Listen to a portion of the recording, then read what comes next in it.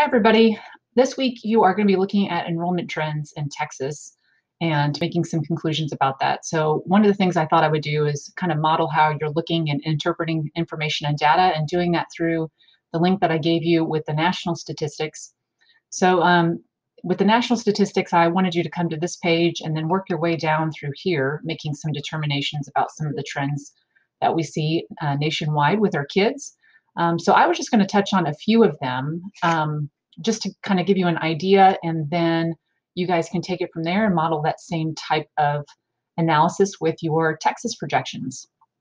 So one of the things that we can see here is they're always going to tell us what type of data it is and when the year ranges are. With Texas, they always give us a nice 10-year output so we can see over 10 years how things have changed or maybe stayed the same. So what we notice here in the nationwide statistics about um, kids going to be in school is we really see that it's going to stay relatively flat. Um, yes, it goes up slightly, but it's it's relatively flat enrollment. But the really interesting things we see is, and this is, I don't think any kind of big surprise, is that from 2000 to 2016, we saw a major enrollment increase here in Texas.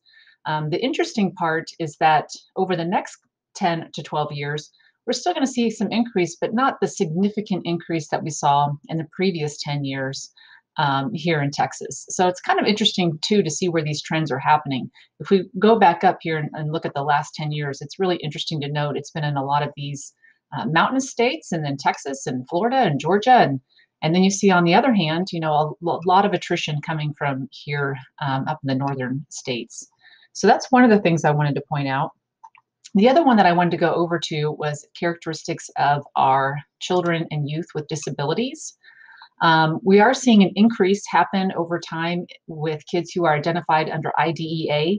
Um, what we are seeing over time too, it doesn't represent that here, but we are seeing some shifts and trends in what they're being identified with. Um, over time, since it doesn't say here, I'll go ahead and tell you that we're seeing a little bit of decline here in SLD and we're seeing ASD um, rise a little bit over time as well.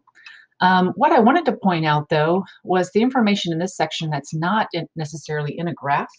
Um, but when you read through it, it, it, tells you some pretty interesting trends that they're seeing. So one of them is they're seeing that overall in students who are identified with learning disability, not learning disabilities, but children who are identified under IDEA are more often males than females.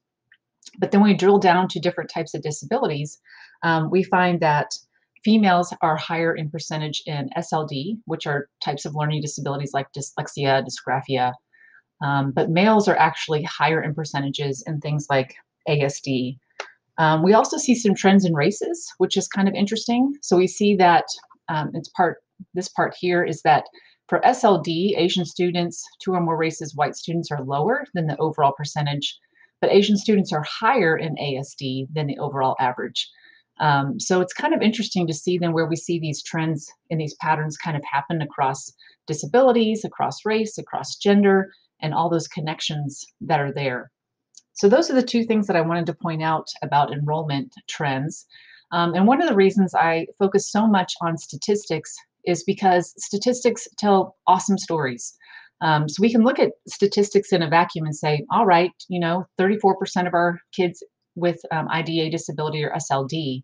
Um, but we have to look a little deeper and try to interpret what is the story behind that? What do we gain from that? What do we need to learn from that? Um, and that's why I like statistics so much is the interpretation of what what that means, um, maybe what the correlations are, maybe what the causation is, but then what do we do with that story so that we can make our schools better for our kids?